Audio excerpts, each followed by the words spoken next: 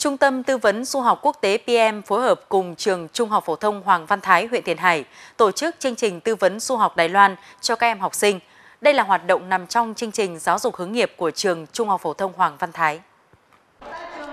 734 học sinh trường Trung học phổ thông Hoàng Văn Thái đã được giới thiệu những ưu việt khi đi du học Đài Loan như chi phí ít, thời gian xuất cảnh nhanh cũng như những ngành nghề đào tạo, cơ hội tìm kiếm việc làm dễ dàng, thu nhập khá và ổn định.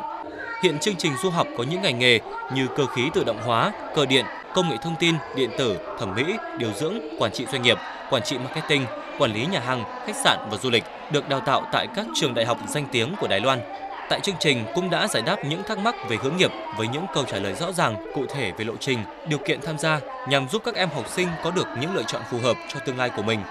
Sau khi được tìm hiểu và tư vấn, nhiều em học sinh đã bày tỏ mong muốn được tham gia vào chương trình du học.